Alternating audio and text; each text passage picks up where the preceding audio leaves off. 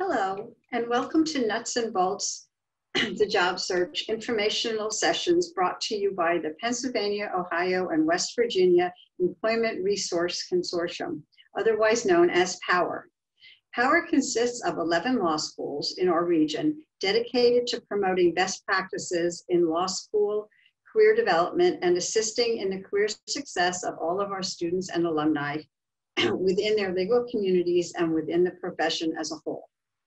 The Nuts and Bolts, the Job Search series, is a collaborative effort to educate our students and alumni on some professionalism basics to supplement your legal studies and help you develop into a well-rounded lawyer. My name is Linda Jones. I am the Senior Director of Career Development at The Ohio State University Moritz College of Law. And today's session will cover hot tips for legal interviews. So we're so glad that you're able to attend this and let's get started. I'm going to give you two hot tips on interviewing. One is on content and one is on delivery. The hardest part of the interview is figuring out a strategy to frame your answers and what the content should be. First, no matter what the question, always remember what whatever it is that the employer asks, what they really are asking you is, why should I hire you? With that in mind, review your resume and do a self-assessment of your strengths and skills to identify what skills and strengths you have that would be valuable to an employer. In addition to what you might ex expect an employer to be seeking, such as research skills or analytical skills or writing skills, during the pandemic, employers are also placing value on other abilities such as initiative and proactivity, independence, cultural fit, communication, and trustworthiness. Interviewers want to know who you are, so do not rush your answers. Do not answer with a yes or no or with short sentences. Each answer should have a situation, action, and result, so you are providing examples of your ability as you answer each question. The two questions that you must be prepared to answer are um, why did you go to law school and tell me about yourself? These are basically the same question and are also being asked with the idea of why should i hire you?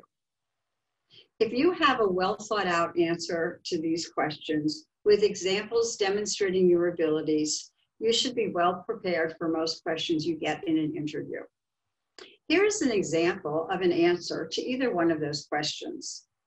Ever since I won the debate competition in high school, I knew I wanted to go to law school. I enjoyed the research I did on the topic, preparing arguments, and advocacy.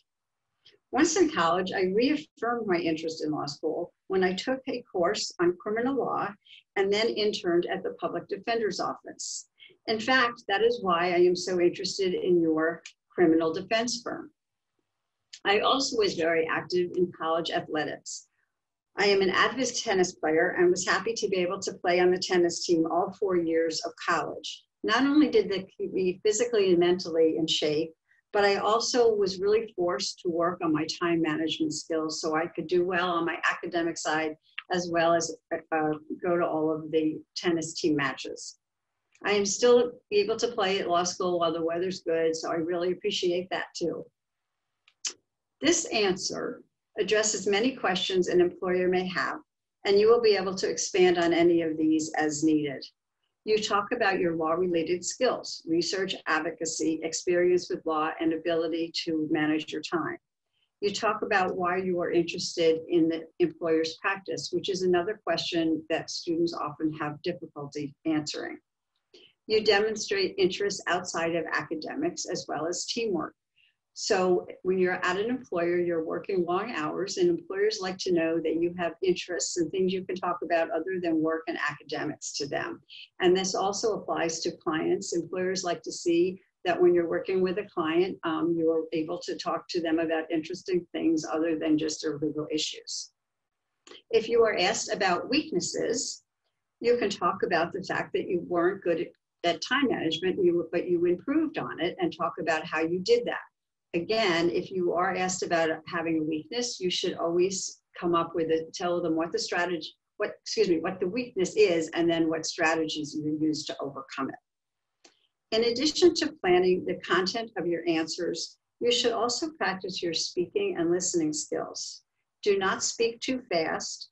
Practice speaking slowly. Record yourself, practice with a friend. Don't try to use complicated language. Be conversational, be yourself. Listening is another skill that needs to be practiced.